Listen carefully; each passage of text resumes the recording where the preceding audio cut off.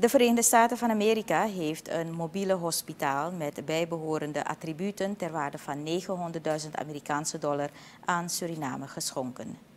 De officiële overhandiging vond vandaag plaats door de ambassadeur Karen Williams en legeradmiraal Yvette Davids aan president Chandrika Persat Santokhi.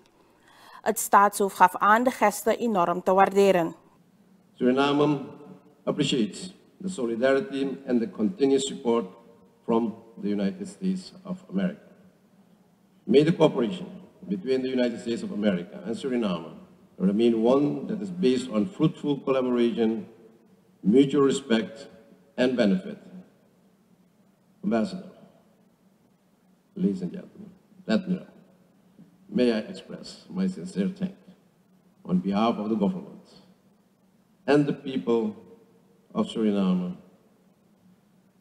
for this beautiful field hospital.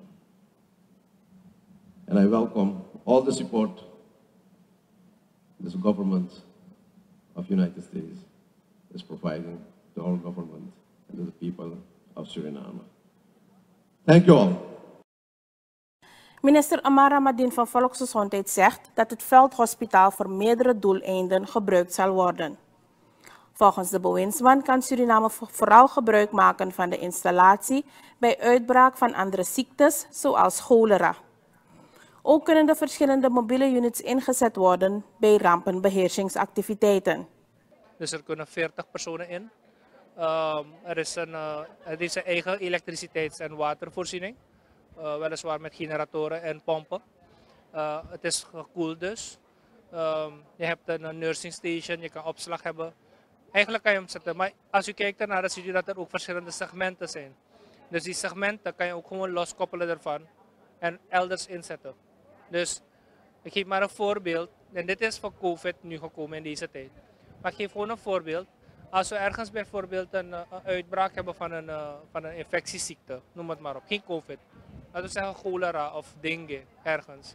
Of, en het is ergens ver waar er niet direct faciliteiten, goede faciliteiten zijn kan je dit ook gebruiken, een deel ervan, om naar daar te transporteren.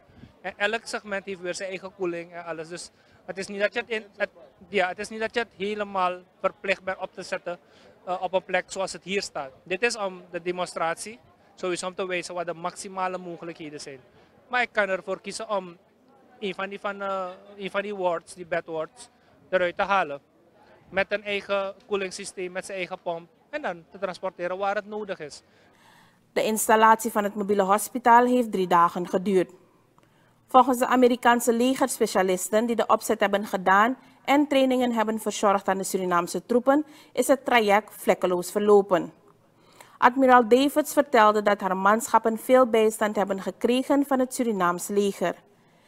Minister Krishna Kumari Mathura van Defensie gaf aan onder de indruk te zijn van de bijdrage van het Surinaams leger.